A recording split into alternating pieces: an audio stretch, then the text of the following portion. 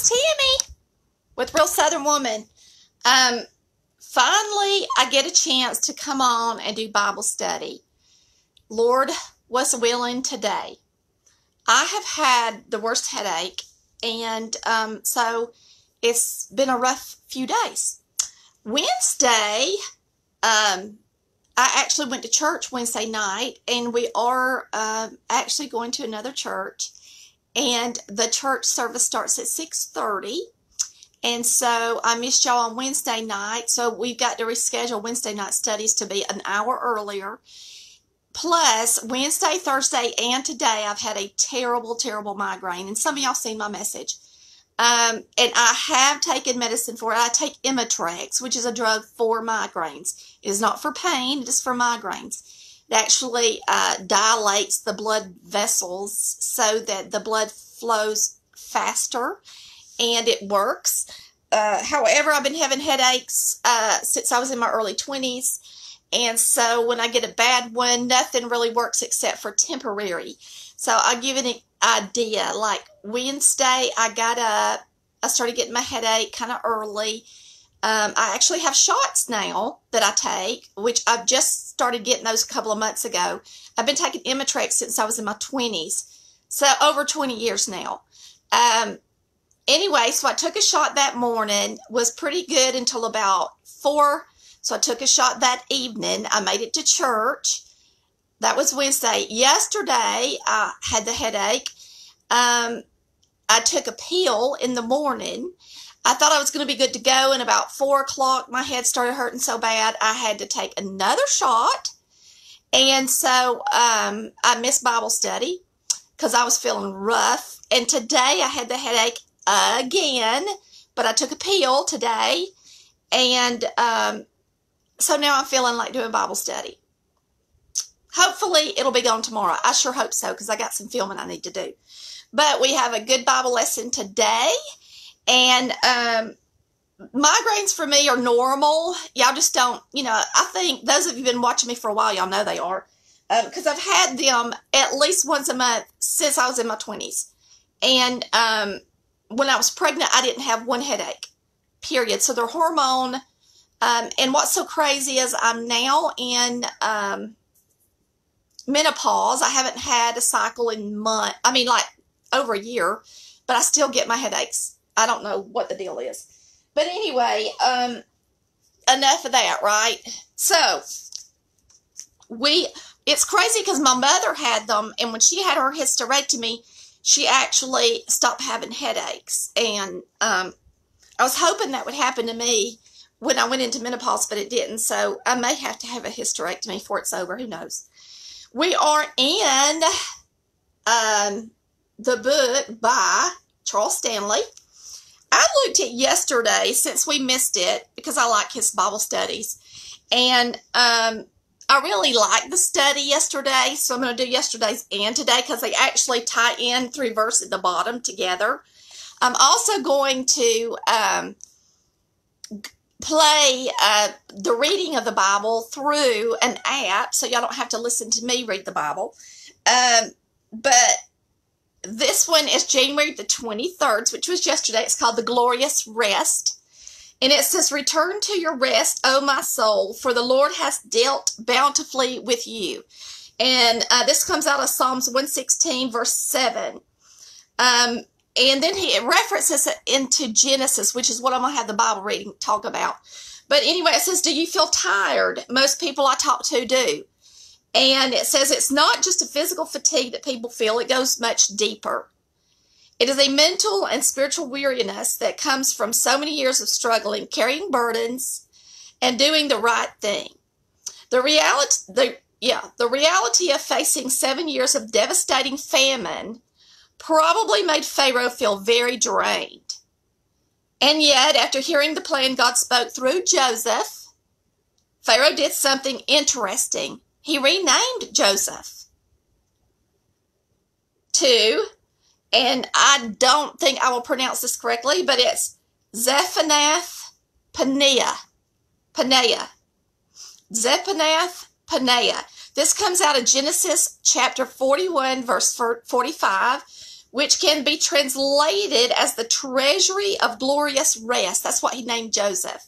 If y'all know the story of Joseph, Joseph is the guy who was born into the family of all the brothers, and his daddy, he was his daddy's favorite. He made him the coat of many colors, and his brothers uh, dumped him into a pit, and he was sold into slavery. He wound up having these dreams. Uh, no, he wound up being able to interpret dreams. He actually had a few dreams when he was young, too. But he was able to interpret the Pharaoh's dreams, and he became the Pharaoh's right hand man. So um, I'm going to read to you out of Genesis 41. I'm actually going to let this app read to you out of Genesis 41 just so you can hear the scripture, and then we'll continue on with our Bible study. So y'all listen. And the throne will I be greater than thou. And Pharaoh said unto Joseph, See, I have set thee over all the land of Egypt. And Pharaoh took off his ring from his hand, and put it upon Joseph's hand and arrayed him in vestures of fine linen, and put a gold chain about his neck. And he made him to ride in the second chariot which he had. And they cried before him, Bow the knee. And he made him ruler over all the land of Egypt. Then Pharaoh said unto Joseph, I am Pharaoh, and without thee shall no man lift up his hand or foot in all the land of Egypt. And Pharaoh called Joseph's name Zaphnath and he gave him to wife. Okay, so you, I, I, guess y'all could hear that. Um, it's very low. It's my old Apple uh, iPad that was reading that to you, and um, that is actually what I, the only thing I used to have for audio to do my videos, and that's why lots of my older videos you can't even hear anything I say but he said the word much better than I did. Pharaoh's new, um, Joseph's new name. But it says uh, that the Pharaoh saw rest in him. He said he saw the wisdom God had spoken through Joseph as a cause for peace and repose. We would do well to learn from this. It says what we have in our relationship with Jesus is unfathomable treasure of glorious rest and life. We can always find tranquility and refreshment in his leadership, provision, and care. So if you're feeling tired today, return to the Prince of Peace, who will never fail you. That is in John chapter 14. Um, I think I think it was Monday or Tuesday. I told y'all to read John. It's such a beautiful chapter, and you know you can get these audio app Bible apps. You can just go if you have a moment, if you you know if you if you can't see well or reading is not your thing, you can get the Bible apps that are audio. You can download them, and you can lay in the bed and press the play button and just lay back and listen to the words of the scripture and um, it, it's wonderful. So uh, do it that way if you have a hard time reading or keeping your, uh, like a lot of people that read, they have a hard time keeping their attention on what they're reading without their mind going everywhere else. So maybe if you could uh, go to your bedroom in a quiet place and turn on that app and listen to about three chapters a day, you could get through the Bible in a year. Um, anyway, it says, so if you're feeling tired today, return to the Prince of Peace who will never fail you. Seek Jesus to give rest to your soul. And that comes out of Matthew chapter 11. And while we're in Matthew chapter 11, we go on to the next Bible reading, which is Revealing God, January 24th. And it is Matthew chapter 11, verse 27. And this one says, No one truly knows the Father except the Son, and those whom the Son chooses to reveal him. And this one uh, talks about feeling distant from God and so um, it says, Do you ever feel so distant from God that you wonder if you'll ever really know Him or His will for your life? Then take heart. The word for reveal in today's verse is, and he gives us this Greek word, um, akaputo. The prefix apo means separation. The word kalupsis means to hide or veil. In other words, this means to separate the veil. Think of that in terms of what Jesus did at the crucifixion. It says in Mark chapter 15, it tells us that Jesus uttered a loud cry and breathed his and breathed his last breath. it says the veil of the temple was torn in two, two, the, the number two, from top to bottom. Remember, the veil separated everyone from the Holy of Holies, where God's presence was said to dwell. Only the high priest was allowed to approach him there one time a year. But when the veil was torn from top to bottom, it signified that Jesus has succeeded in removing all that separated us from the Father. Isn't that the most exciting thing ever? Is that just not unbelievable that when he was crucified, that veil was torn from top to bottom and nobody tore it but Jesus Christ and God Himself? And um, that's why we do not have to go through a high priest to pray to God.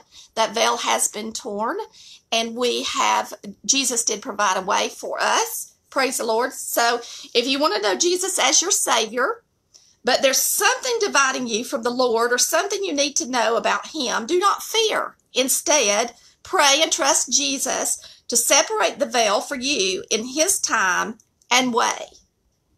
Um, and this, uh, his little synopsis at the end of this chapter says, My hope is in Jesus because he reveals all I need to know. And it says, Jesus, thank you for revealing the Father to me. Amen. And I was thinking this the other day. You know, when Jesus walked the earth, my brother said something to me. when Jesus walked the earth, you know, he was born um, as a simple carpenter's son. He wore simple clothing. He wore sandals uh, on his feet. Um, he was not robed in royalty here on the earth, and neither was John the Baptist, which was the one who came before him proclaiming his name. John the Baptist wore rags, uh, was pretty much a wild, homeless, crazy looking guy. And um, he was actually the spokesman for Christ and his coming. And I think that's one reason why the Pharisees had such a hard time believing that God could have been in Jesus because look at Jesus, look at John the Baptist, look where they came from. It, they were expecting someone that was royal and and so different than what was given to them. And I think uh, when Christ got here, he taught us what humility is and how to be humble. And there's no way that he could have done it any better than to be born a simple carpenter's son and to be revealed through a man like John the Baptist. Um, because we are to be humble, and he tells us to clothe ourselves in humility. And we should never feel like we're more than we ought to be because we're not. And we should never uh, think that someone, because of their rank um, in this world, or uh, whatever it may be, their clothing, anything about a person could never make them any more holy than somebody else. Um, and a good example of that is just looking at how Jesus was brought out to us and how John the Baptist was. And um, I just think it's a good example for us to understand that uh, we are not to judge anybody, um, their hearts, by what they are on the outside. Only God knows what's on the inside. And um, we are to always be humble and make ourselves feel, you know, we should always feel humble and not just feel humble, but try to be humble and love everybody uh, just as Christ did.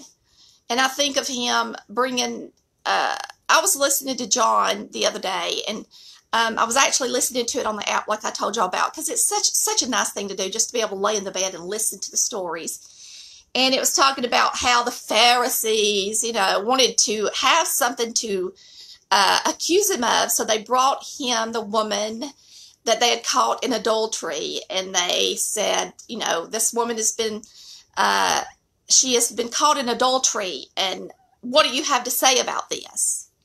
And so they thought he was going to say something that would, um, they thought he would say stoner because that was the law. And instead of saying stone her, which is, you know, a lot of people are like, the law, remember that the law is important. It was important for the Jews for them to see what was right and wrong. And, um, but remember when Jesus came, um, it's not all about the law anymore. It's more about our hearts. And so instead of answering them with a law, he said, If any man be without sin, let him cast the first stone. And one by one, they began to disappear and walk away. Um, and that just goes to show he loved the, the woman, even if she was caught in adultery. Um, he loved her and he didn't condone what she was doing, but he let them know that they were, they were not without sin either. None of us are. And and he looked at her and he said, "Go and sin no more." So remember that um, if you ever uh, find yourself thinking that you may or may not know more than somebody else, or uh, may be better than somebody else, uh, just remember that none of us are better than anybody, and we're all equal in the sight of God. So, um, anyway, it's nice to be back on here tonight with y'all. I'm sorry about being out for a couple of days, but I truly was sick. And um, and for me to be sick enough not to come on, that's pretty good. I mean, pretty bad. you know what I mean? I, I don't take it lightly. So hopefully I'll get to see you again tomorrow. I am going to make a couple of videos. I'm probably not going to do them live tomorrow. Uh, I've got two uh, pieces of equipment that I need to do a review on. And I do not want, I didn't want to do those when I was sick or I wouldn't have been in such a great mood for the video. But um, I think I've talked plenty with y'all tonight.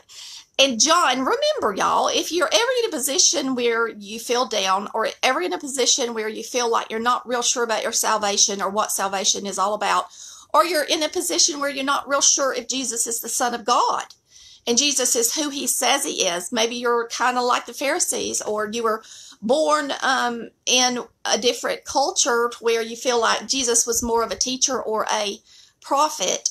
All you have to do is pick up the Bible and read the book of John, and he will reveal himself to you um, because it is a beautiful picture of the gospel. Um, I hope y'all have a blessed night. Me and Chris are actually working on paperwork um, and we're balancing checkbooks. Can you believe that? I've downloaded a new program for our finances because I've just been doing it off the seat, flying off the seat of my pants.